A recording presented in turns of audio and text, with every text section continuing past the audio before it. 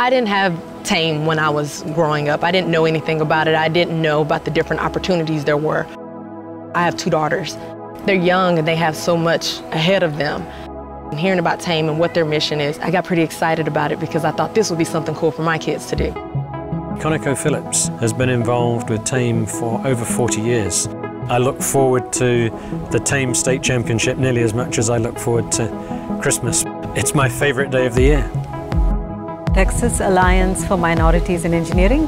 We have 310 students, 70 teachers from 68 cities across Texas here today. We try to intentionally create these communities of diverse students, diverse teachers. During the course of the day, they start with tests in the morning and then in the afternoon they get into a design challenge. Everything is thought about in advance and the day runs like clockwork. Engineers from ConocoPhillips created a really spectacular engineering design challenge. The kids will work on that as a team and solve the problem that is placed before them. Diversity is an incredibly important part of an effective team. When you have a diversity of opinion, a diversity of experiences, the end product that you create is so much bigger than what any one person could create by themselves. What it is about the event that makes me hopeful is the impact that you see it has on some of the kids.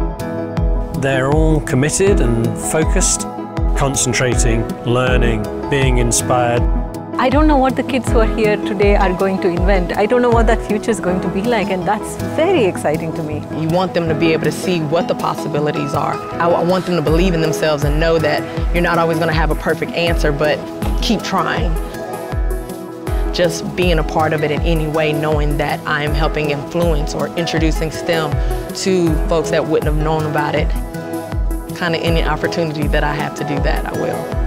This event is worthwhile. It really is achieving the goal that we want, which is to grow the population of people who can be potential future employees because they actually do get switched on to the thought of a STEM career.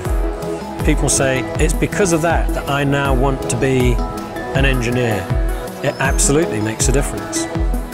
TAME provides that view, provides that insight, provides that chance to see what is out there if you just put your mind to it and work hard at it.